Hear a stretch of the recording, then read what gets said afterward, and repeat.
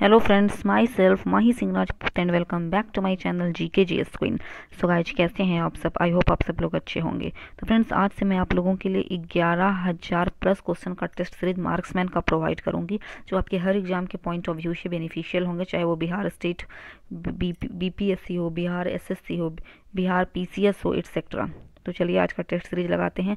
आप मुझे फेसबुक और इंस्टाग्राम पर भी फॉलो कर सकते हैं। लिंक आपको डिस्क्रिप्शन बॉक्स में मिल जाएगा। For PDF and latest update please join with me on Telegram channel and link is given in description box so let's started यहाँ पर क्वेश्चन नंबर फ़र्स्ट है कि भारत में मानव का सर्वप्रथम साक्ष्य कहाँ मिलता है? Option D is correct Narmada घाटी में। नेक्स्ट उस स्थल का नाम बताइए जहाँ से प्राचीनतम अस्थायी जीवन के प्रमाण मिले हैं।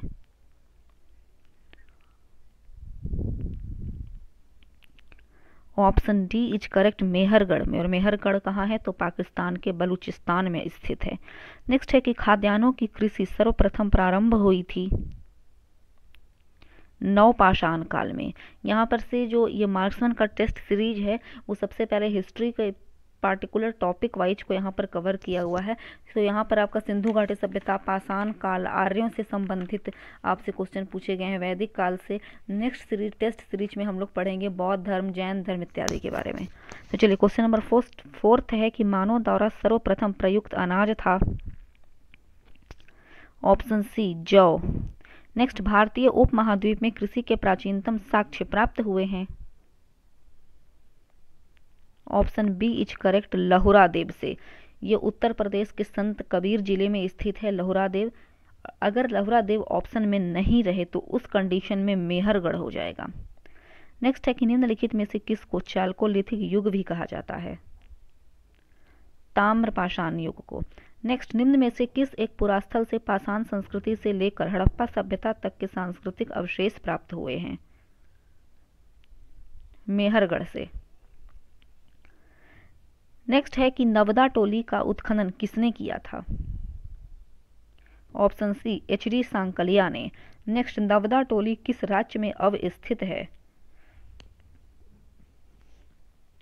मध्य प्रदेश में। नेक्स्ट है कि बृहद पाषाण स्मारकों की पहचान की गई है। ऑप्शन बी मृतक को दफनाने के रूप में। नेक्स्ट है कि राख का टीला निम्नलिखित किस नौपाषाणिक स्थल से संबंधित है? ऑप्शन बी, संगन कल्लू से, ठीक है ना? संगन कल्लू कहाँ है? तो उत्तर प्रदेश के इलाहाबाद ज़िले में बेलन नदी घाटी में स्थित है संगन कल्लू। नेक्स्ट, उत्खनित प्रमाणों के अनुसार पशुपालन का प्रारंभ हुआ था। ऑप्शन डी मध्य पाषाण काल में। नेक्स्ट मध्य पाषाणिक प्रसंग में पशुपालन के प्रमाण जहाँ मिले हैं, वह स्थान है ऑप्शन सी आदमगढ़। ये मध्य प्रदेश का आदमगढ़ तथा राजस्थान के बौगौर से मिले हैं ये प्रमाण। नेक्स्ट है कि निम्नलिखित में से किस स्थल से हड्डी के उपकरण प्राप्त हुए हैं? देखिए, हड्डी का जो उपकरण है, यहाँ पर थोड़ा सा क्वेश्चन में कंफ्यूजन है, चूँकि इसका करेक्ट आंसर सी और डी ये दोनों हो जाएगा। लेकिन इसका करेक्ट आंसर सी हो जाएगा महदहा, जो उत्तर प्रदेश के प्रतापगढ़ ज़िले में स्थित है। क्योंकि महदहा से ज़्यादा अमाउंट में हड्डी के उपकरण मिले हैं, जबकि सराय, नाहर राय से अल्प मात्रा में मिले हैं। नेक्स्ट है कि गौरिक मृदभांड पात्र, यानी ओशीपी का नामाकरण हुआ था। ऑप्शन ए हस्तिनापुर में। ताम्रपाषाण काल में महाराष्ट्र के लोग मृतकों को घर के फर्श के नीचे किस तरह रख कर दफनाते थे? ऑप्शन ए, उत्तर से दक्षिण की ओर। उत्तर सर रहता था, जबकि दक्षिण उनके पैरों को रखा जाता था। नेक्स्ट है कि निम्नलिखित में से किस स्थान पर मानव के साथ कुत्ते को दफनाए जाने का साक्ष्य मिला है? ऑप्शन ए, बुर्ज होम में। बुर्ज होम कश्मीर का एक क्षेत्र है। यहाँ पर से आप देख सकते हैं कि शैंधव सभ्यता एवं संस्कृति से क्वेश्चन एराइज किए गए हैं। तो क्वेश्चन नंबर एटीन है कि हड़प्पा निम्नलिखित में से किस सभ्यता से संबंधित है? ऑप्शन बी सिंधु घाटी सभ्यता से।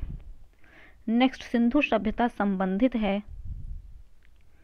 ऑप्शन बी, आद्य ऐतिहासिक युग से। देखिए, आद्य ऐतिहासिक काल उस काल को कहते हैं, जिसमें उत्खनन के दौरान लेखन कला तो मौजूद था, स्क्रिप्ट तो मौजूद था, बट वो ऐसी राइटिंग में लिखे गए या फिर ऐसी लिपि में लिखे गए कि उसे अभी तक पढ़ा नहीं जा सका है। नेक्स्ट है कि सिंधु घाटी की सभ्यता गैर आर्य थी, क्योंकि ऑप्शन ई, वह नगरीय सभ्यता थी, जबकि आर्यों की जो सभ्यता थी, वो एक ग्रामीण सभ्यता थी। नेक्स्ट है कि सिंधु घाटी सभ्यता को आर्यों से पूर्व की रखे जाने का महत्वपूर्ण कारक है। मृदभांड। सिंधु घाटी सभ्यता वैदिक सभ्यता से भिन्न थी क्योंकि ऑप्शन डी उपरोक्त सभी, क्योंकि इसके पास विकसित शहरी जीवन की सुविधाएँ थी। इसके पास चित्र देखिए, लिपि थी। इसके पास लोहे और रक्षा शास्त्रों के ज्ञान का भी अभाव था। नेक्स्ट है कि हड़प्पा संस्कृति की जानकारी का प्रमुख स्रोत है। ऑप्शन सी पुरातात्विक खुदाई।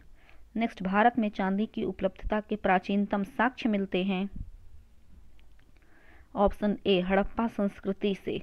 नेक्स्ट हड़प्पा में मिट्टी के बर्तनों पर सामान्यतः किस रंग का उपयोग हुआ था? ऑप्शन ए लाल रंग का। नेक्स्ट मूर्ति पूजा का आरंभ कब से माना जाता है? तो ऑप्शन ए पूर्व आर्य से मूर्ति पूजा का आरंभ माना जाता है। सैंधव सभ्यता में मूर्ति पूजा प्रचलित थी। नेक्स्ट है कि निम्नलिखित पशुओं में से किस एक का हड़प्पा संस्कृति में पाई मुहरों और टेरा कोटा कलाकृतियों में रिप्रेजेंटेशन यानी निरूपण नहीं हुआ था? तो ऑप्शन ए जो हो जाएगा ट्वेंटी सेवन का, वो हो जाएगा ऑप्शन ए गाय का निरूपण नहीं किया गया था। नेक्स्ट है कि एक जुते हुए खेत की खोज की गई थी। ऑप्शन बी कालीबंगा में ये राजस्थान के हनुमानगढ़ ज़िले में सिचुएटेड है कालीबंगा। नेक्स्ट है कि शैंदो सभ्यता का महान स्नानागार कहाँ से प्राप्त हुआ है? ऑप्शन ए, मोहन जोदड़ो से। नेक्स्ट, सिंधु घाटी सभ्यता का कौन सा स्थान अब पाकिस्तान में है? तो ऑप्शन बी, हड़प्पा पाकिस्तान में है, कालीबंगा राजस्थान में, लोथल गुजरात में तथा आलमगीरपुर उत्तर प्रदेश में। नेक्स्ट है कि रंगपुर, जहाँ हड़प्पा की समकालीन सभ्यता थी, वह है। ऑप्शन सी, सौराष्ट्र में। नेक्स्ट सिंधु सभ्यता का कौन सा स्थान भारत में स्थित है? ऑप्शन सी, लोथल, जो गुजरात में है, जबकि हड़प्पा, मोहनजोदड़ो दोनों पाकिस्तान में है। नेक्स्ट है कि वह हड़प्पीय नगर जिसका प्रतिनिधित्व लोथल का पुरातत्व स्थल करता है, किस नदी पर स्थित था? ऑप्शन सी, भोगवा नदी पर। हड़प्पा सभ्यता स्थल लोथल स्थित है। ऑप्शन ए, गुजरात में। नेक्स्ट, सिंधु घाटी सभ्यता का पतन नगर यानी बंदरगाह था। लोथल। नेक्स्ट है कि भारत का सबसे बड़ा हड़प्पन पुरास्थल है। Option D Rakhigarhi next Sindhu घाटी के लोग विश्वास करते थे। ऑप्शन डी मातृशक्ति में। सिंधु घाटी के लोग मातृशक्ति में विश्वास करते थे। देखिए, उसकी लिपि जो है, वो अभी तक पढ़ी नहीं गई है सिंधु घाटी की। इसी कारण से उन लोगों के धार्मिक विश्वास के बारे में कुछ निश्चित तौर पर नहीं कहा जा सकता। इसलिए मातृशक्ति हो भी सकती है नहीं भी, इसे विवाद के क्वेश्चन में रखा गया है। नेक्स्ट है कि सिंधु घाटी के लोग पूजा करते थे।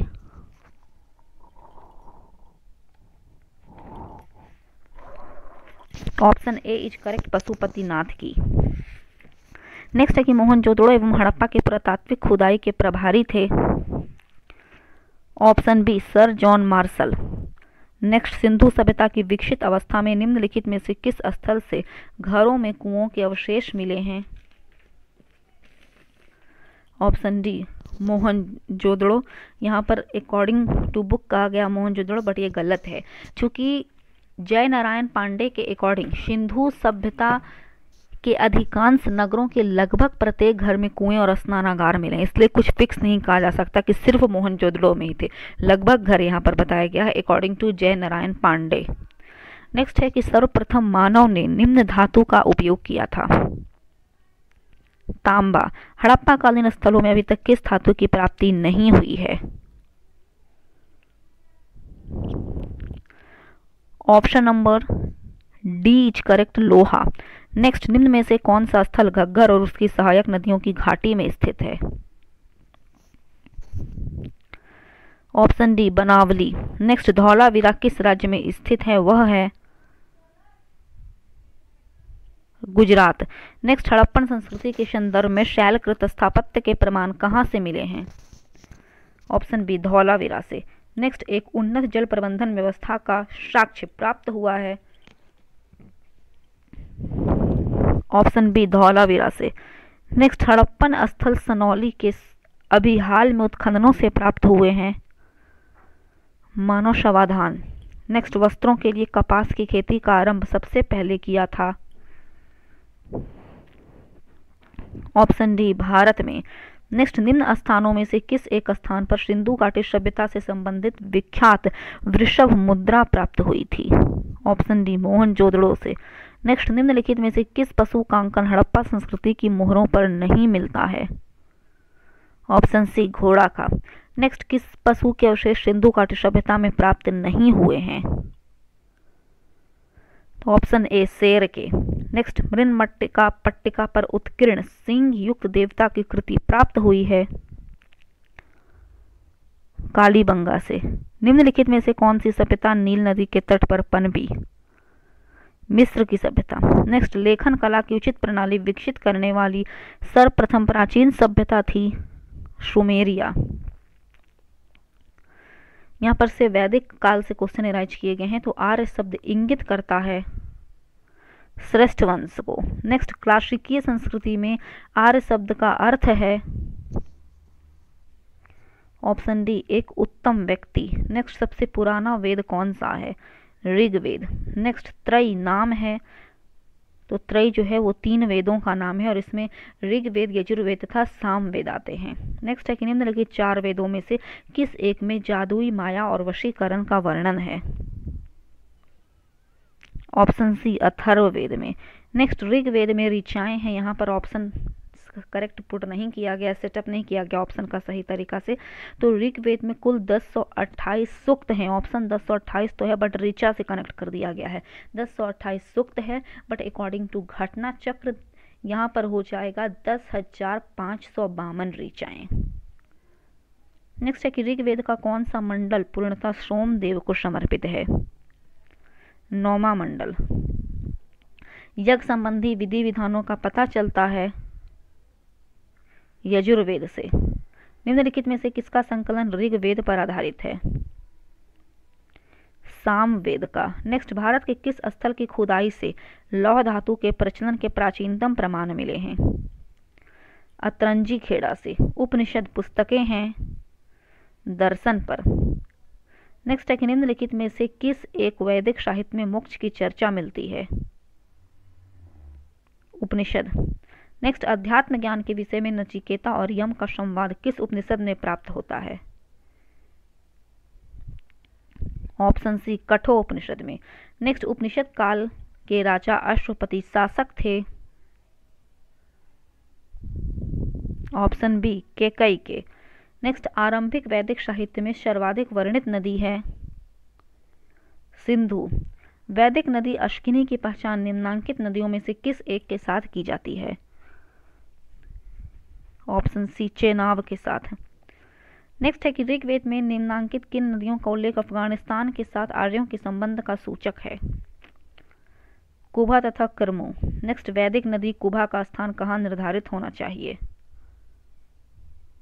अफ़गानिस्तान में।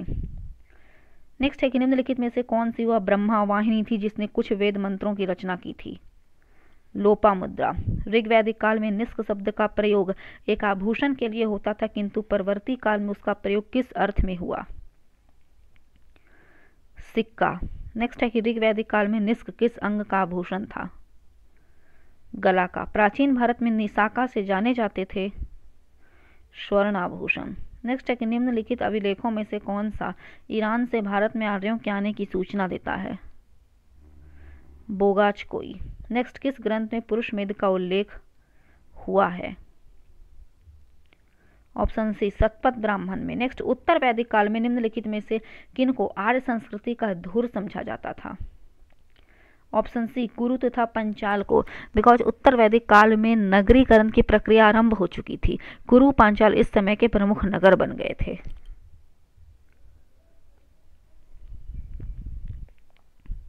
चलिए नेक्स्ट है कि गोत्र शब्द का प्रयोग सर्वप्रथम हुआ था। ऋग्वेद में नेक्स्ट पूर्व वैदिक आर्यों का धर्म प्रमुखता था। प्रकृति, पूजा और यज्ञ। ऋग्वेद काल में जनता निम्न में से मुख्यतः किसमें विश्वास करती थी? ऑप्शन डी, बलि एवं कर्म कांड में प्रसिद्ध दस राजाओं का युद्ध, जिसे दसराग युद्ध भी कहा गया। किस नदी के तट पर लड़ा गया? परुष्णी यानी रावी नदी के तट पर। निम्न में से किस नदी को ऋग्वेद में मातेत्मा देवित्मा और नदित्मा संबोधित किया गया है? सरस्वती नदी को। नेक्स्ट है कि उस जनजाति का नाम बतलाइए, जो ऋग्वैदिक आर्यों के पंचजन से संबंधित नहीं है। कीकट। प्राचीन काल में आर्यों के जीवोपार्जन का मुख्य स्रोत था ऑप्शन ए, कृषि तथा पशुपालन करना। ऋग्वेद में उल्लिखित यव शब्द किस कृषि उत्पादन हेतु प्रयुक्त किया गया है? जौ। नेक्स्ट वैदिक युग में प्रचलित लोकप्रिय शासन प्रणाली थी। ऑप्शन डी, वंश परंपरागत राजतंत्र। वैदिक युगीन सभा मंत्री परिषद थी। किस वेद में सभा और समिति की प्रजापति की दो पुत्रियाँ कहा जाता है? अथर्ववेद को। नेक्स्ट है कि आयुर्वेद अर्थात जीवन का विज्ञान का उल्लेख सर्वप्रथम मिलता है अथर्ववेद में। नेक्स्ट है कि सर्वाधिक ऋग्वैदिक सूक्त समर्पित हैं। ऑप्शन बी इंद्र को। इंद्र को कुल ढाई सौ सुख समर्पित है। ऋग्वेद में सर्वाधिक संख्या में मंत्र संबंधित हैं। अग्नि को, चूँकि इंद्र ऑप्शन में नहीं है तो अग्नि देव को दो सौ सूक्त। नेक्स्ट है कि निम्नलिखित में से किसे ऋग्वेद में युद्ध देवता समझा जाता है? इंद्र को। नेक्स्ट निम्नलिखित में से पूर्व वैदिक आर्यों का सर्वाधिक लोकप्रिय देवता कौन था? इंद्र। नेक्स्ट गायत्री मंत्र किस पुस्तक में मिलता है? ऋग्वेद में। नेक्स्ट गायत्री मंत्र की रचना किसने की थी? विश्वामित्र मुनि ने। नेक्स्ट पुराणों की संख्या कितनी है? अठारह। श्रीमद् भागवत गीता मौलिक रूप से किस भाषा में लिखी गई है? संस्कृत में। लास्ट क्वेश्चन है कि किस काल में अछूत की अवधारणा स्पष्ट रूप से उदित हुई थी? ऑप्शन डी धर्म शास्त्र के समय में। तो फ्रेंड्स आई होप आपको आज का मेरा वीडियो यूजफुल लगा हो। अगर आपको मेरी वीडियो पसंद आती है तो प्लीज़ मेरे चैनल को सब्सक्राइब लाइक और ज़्यादा से ज़्यादा फैमिली एंड फ्रेंड्स के साथ शेयर करें। तब तक के लिए जय हिंद, जय भारत।